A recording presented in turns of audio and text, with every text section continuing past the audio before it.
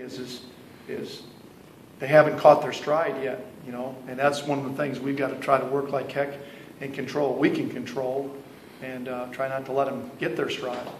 Coach, when you look at uh, North Texas on video, is there anything that you see offensively or defensively that kind of intrigues you when you're game planning for them? Well, offensively, I think they're doing really good stuff. I mean, they're doing, uh, you know, run hybrid stuff, which is what a lot of people do, and they're good at it. They've moved the ball. Moving the ball has not been an issue. Now, finishing drives, uh, they've tried a lot of field goals.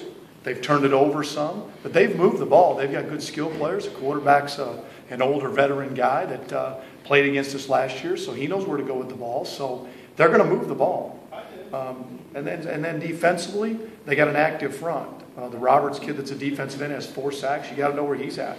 He's active, and uh, you know, and then and then the, the back end with those safeties, they're downhill guys. So you know, and Coach McCarney's a defensive guy, so they're going to be good on defense. So we got we got to work it out for us. I don't I don't know where anybody thinks that all of a sudden it's uh, you know we we're, we've got two wins. That's all we have. We got to keep working.